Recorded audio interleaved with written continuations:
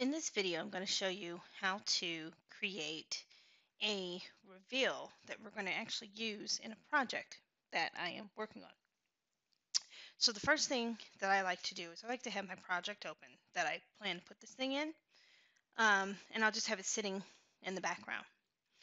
From here, I'm going to go up to the File menu, and I hardly ever do anything from scratch.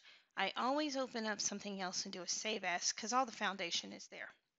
So I'm going to go into open and uh, I'm already here in this location, but just in case you're wondering, profiles, of course they're in the library, profiles, and since I'm putting this reveal on a wall, it is located underneath wall, underneath profile. So this is what profiles looks like.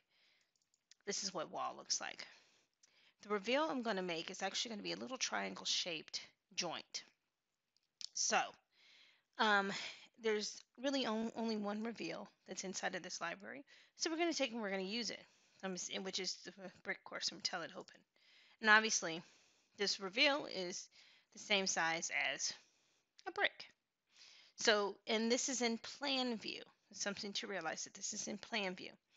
So I'm going to just take this as my starting point, but I'm drawing a couple other lines because like I said, I'm going to do just a little mini joint. So the first thing I want to do, I'm going to go to my line tool. Oh no, excuse me. It's not the first thing I want to do. The first thing I want to do is a save as. I always do a save as because you don't want to accidentally save over a different file that gets used. So I'm going to do save as and I'm going to say family. And it's going to, of course, put me back into that same uh, location. And I'm going to call this one a triangle joint. I'm going to keep the word reveal because that's how, I, how it breaks it up so I know they're all together. And I'm going to say triangle joint. Make sure this is spelled right. Okay, so now this, this is correct file. I'm next going to draw in some guidelines for myself. So I'm going to draw along the center line. And I'm going to keep this line because this is the front. So it's just something to keep be aware of. The other thing I'm going to do, I'm going to do an offset and I'm going to do one quarter of an inch. It's a decent size uh, joint. And actually, let's do a half of an inch, half, half inch joint. So set that to one half of an inch. Okay, now I can start to move some things. So I'm going to draw in a few more lines. And let's go back to create line. And I want these to actually hit along this point. So that's a good starting point. I'm going to get rid of these pieces that we cannot use anymore. So I got rid of those just like that.